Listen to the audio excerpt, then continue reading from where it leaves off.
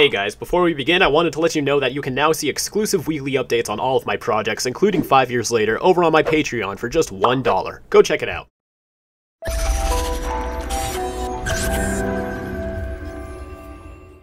In the summer of 2007, I made some pretty significant discoveries that would change my life forever. I finally started listening to some actual music, LimeWire was still a thing, and perhaps my biggest life-changing moment of all, I discovered that you can edit any picture you have on your computer with MS Paint. Now, that may seem silly, but this one skill, if I can even call it a skill, was the foundation of literally everything I've ever done going forward. And hey, don't knock MS Paint, it's actually still a pretty good program that I still use to this day. Say what you want about the program, but there is nothing that beats the usefulness of this curve tool. At first, I didn't do too much but just take the photos my father already uploaded onto the computer of my family, and then added some colorful shapes and borders to them.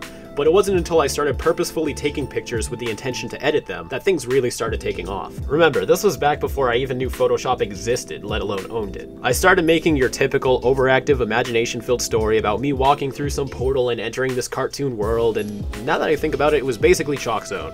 But I never actually saw Chalkzone at the time, so it doesn't really count as a ripoff, right? I didn't even know what a video editing software was at the time, so to get these little films to work, I'd open the pictures in Windows slideshow mode and just rapidly tap the arrow key to the next slide and force my mom to watch them as I did my best to narrate what's happening. Hey mom, come check out this animation I made.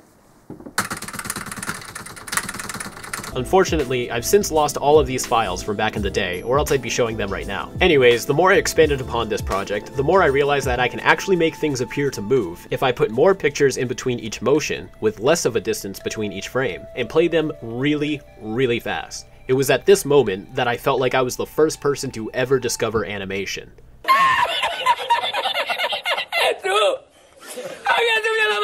Moving on, I became obsessed with making these little slideshow animations for the rest of the summer. Almost every day was spent thinking of what new and cool effects I could try to make. I became very attached to this fire character I always drew that my brain would not allow me to accept was just a Heat Blast ripoff.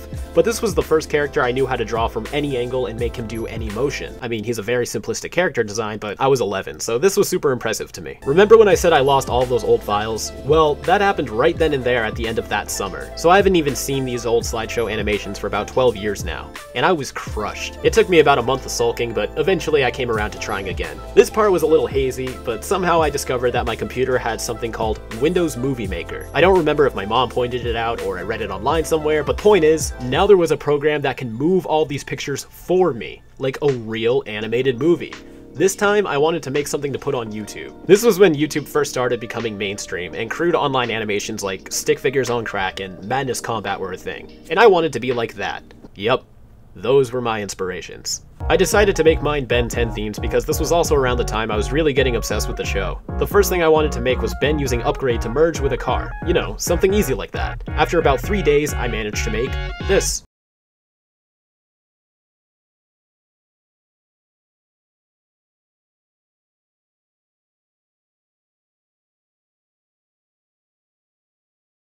Yeah, I have no idea where that Red Devil idea came from, but it happened. This was the pinnacle of my work at the time, and of course, I wanted to keep going. Instead of properly planning what I wanted to do to next, I just started making shit up as I went. The following scene shows Upgrade glitching into Wildmutt, and somehow the SUV disappears. Wildmutt then pounces on the Devil Man, only to be electrocuted, tricked, and then transformed back to Ben. With no regard for his timeout function, I had him go alien again, this time with a transformation sequence. Notice how I used the split transition to show lines going up his body, and the jaw transition to show Wildmutt opening his mouth? Yeah, this was some next level skills right here. Ghost Freak dodges the lasers, yet times out once more. The Devil shoots him, making Ben turn into Heat Blast, then Gray Matter, then de-transform from Ghost Freak. But then the shocking plot point is revealed. The Devil was actually an alien, and we've been dealing with another Ben. Yep, that's right, I predicted Albedo. I made him up, Alien Force was ripping off of my work, start paying up my royalties, Warner Brothers. Also, check out that shading. I was really trying to push this thing. Guess I didn't think ears were important though. So now, as I continue to improvise the story as I went along, Ben and, uh, Negaben get into a battle involving XLR8, Cannonbolt, and an easter egg of Ghost Freak's face turning into a clown for one frame, which I thought was top tier comedy. Ben wakes up to find Negaben strapped him to a chair and stole his watch, and fuses them together to create the Biomnitrix, which doesn't do anything new. As Negaben begins testing his new Christmas-colored powers, Ben finds the strength to break through steel and escape. Coincidentally, he finds a time portal, and spaghettis himself through to find him at the very beginning of the story. Past Ben pursues the devil, present Ben, who can now spawn hoverboards for some reason, follows behind. After an Academy Awards nominated visual effects shot of the camera turning around Upgrade's wheel, we find that it was actually this Ben, who mistakenly brushed against past Ben's Omnitrix and changed him from Upgrade to Wildmutt. Now we got some continuity corrections. God, I am so good. Ben now returns to when he was captured and starts beating the shit out of Nega Ben, to which his past self wakes up, breaks free, and puts the Omnitrix back on. Since Ben now got the Omnitrix again in the past, his future self gains one as well, and the two Bens mercilessly torture Nega Ben with a series of clips from the show's theme song because I had no idea how to choreograph and animate a fight. And that was Ben 10 and the Mystery Morpher.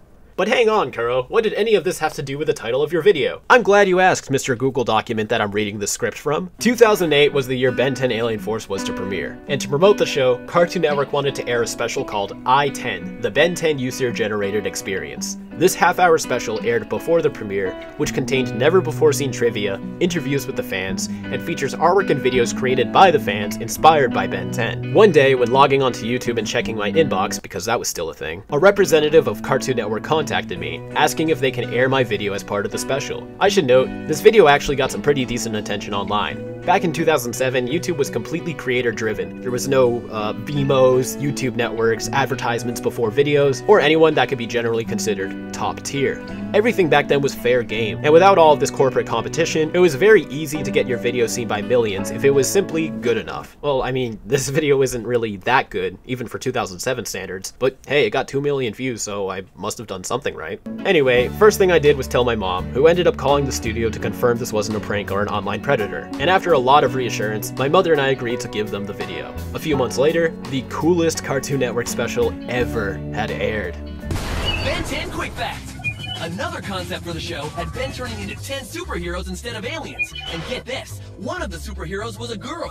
What's with that? The quick facts are starting to freak me out. Okay, actually, it was super cheesy and definitely does not hold up today. But this special was very dear to the fans, and Cartoon Network was giving Ben 10 some legitimate front and center acknowledgement. I mean, the special did have some cool factors to it too. The previously unknown trivia was interesting, and it had a special animated clip of Ben answering questions from the fans, voiced by Yuri Lowenthal himself. And they showcased what they deemed to be the number one Ben 10 fan, Mega Million 12345. You can imagine the incomprehensible jealousy I had with somebody else getting that title. Anyways, I was beyond hyped for the special, not because my animations were set to be featured, but because the hype for Alien Force's relief was beyond belief. There was pop-up trivia marathons of the original series, special codes you can enter on Cartoon Network's website to unlock information on Ben's aliens before their episodes, and even a one-of-a-kind Omnitrix giveaway. Which, by any miracle, if the winner of that contest is watching this, please contact me. I am super curious on what this Omnitrix prize looks like. So the special aired, and with the anticipation of watching my animation air live on TV for millions to see,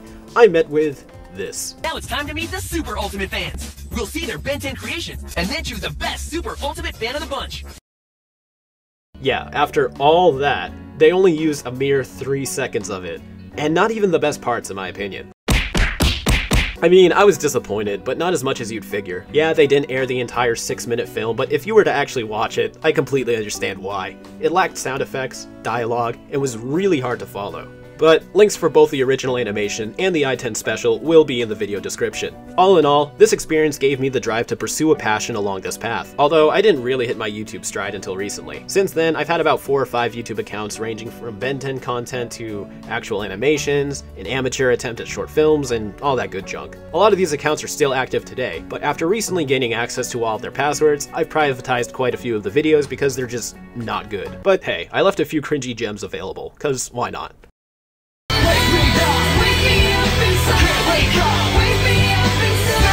This experience was definitely an unforgettable one, and it's something I fondly look back on to help put into perspective exactly how long and complicated of a journey it took to get where I am today. And with the rising success of the Ink Tank and five years later, I hope to only go further beyond from here. Thanks for checking out my video. You can stay up to date with all of my projects on my social media, including exclusive updates on my Patreon every week, and join the Discord to discuss things with very passionate fans. To read 5 years later, please visit my website, kurothewebsite.com. But until then, keep it fizzy.